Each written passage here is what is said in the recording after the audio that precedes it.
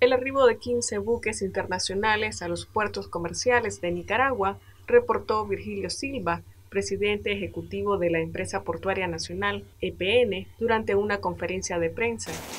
Las actividades que realiza día a día la empresa portuaria, tenemos la actividad del 17 al 23 de abril de 2023 se atendieron 15 buques internacionales que llegaron en la semana. En Puerto de Corinto se atendieron 13 buques, entre ellos tres buques containeros que trajeron productos de importación, llantas, muebles y artículos ferreteros. Y se exportaron en 537 contenedores azúcar, café, banano y tabaco, equivalente a un total de 21.567 toneladas métricas.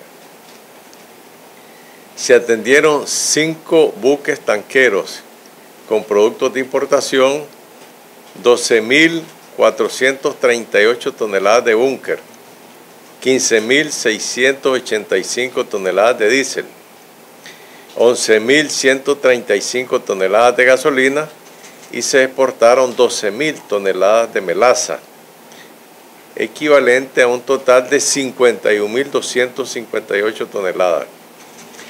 Tres buques rorros con 1.052 vehículos nuevos que llegaron al país, equivalente a 1.847 toneladas se atendieron dos buques graneleros con productos de importación, 12.365 toneladas de maíz, 6.599 toneladas de harina de soya y 7.055 toneladas de fertilizante, equivalente a 26.019 toneladas métricas. En el puerto Airline Sioux se atendió eh, el Charlotte con 242 toneladas de productos de importación conteniendo fibra óptica, repuestos y mercadería general.